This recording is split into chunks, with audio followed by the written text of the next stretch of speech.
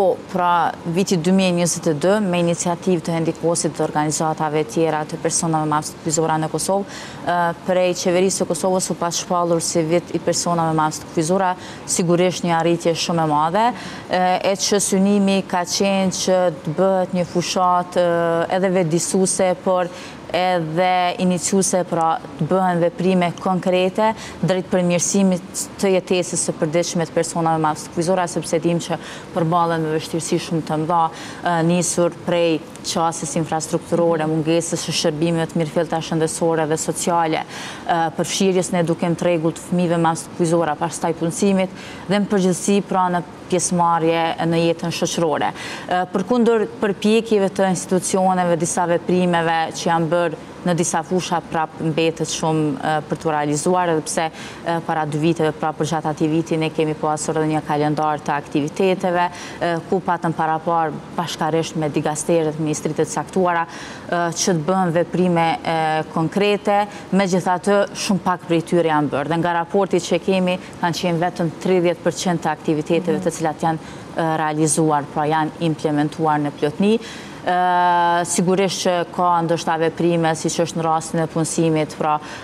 nxjerrja e vendimit kryeministrit që të plotësohet kota e punësimit në administratë shtetërore, në anën tjetër e kemi edhe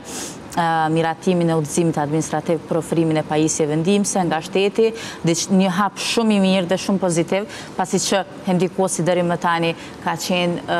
organizata dhe dera e vetme e cila ka ofruar shërbime për gjithë qytetarët në Kosovë, jo vetëm për personat me aftësi të kufizuara, e që sigurisht kjo do ta lehtësojë ndoshta barrën tonë dhe është tashmë në domenin e shtetit, sepse shteti e ka për obligim që të ofrojë edhe shërbime shëndetësore të mirëfillta, sociale, por edhe të pajisjeve ndihmëse, siç e ceku edhe Mimoza aktualisht, Një prej vështirësive më të mëdha me të cilat po përballemi është pikërisht ofrimi i shërbimeve sociale, sepse në mungesë dhe me përfundimin e projekteve, sepse Hendikosi nuk mbështetet pra nga shteti, nuk është, sepse çdo herë mendojnë opinioni që Hendikosi financohet direkt nga shteti, por jo,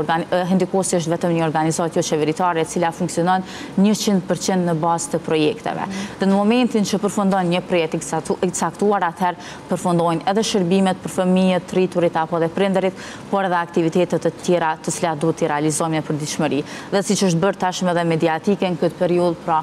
jemi tu përballë me sfidën e ofrimit të shërbimeve sociale dhe për çka na vjen tepër keq sepse e dimë që në mungesë të këtyre shërbimeve fëmijët gjithë atë progresin të cilin e kanë arritur